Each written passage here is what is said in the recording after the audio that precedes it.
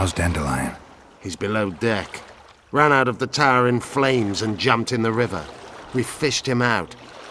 Sooner or later, humans will kill off all the Aen Seidhe, all dwarves and gnomes. Then they'll start murdering one another. Your kind knows no other way. It's in your genes. You'll keep killing each other until only one remains, the strongest among you. A thousand years from now, a dim-witted human barbarian will climb to the top of a pile of bones, sit down and proclaim, I win. Prepare to set sail!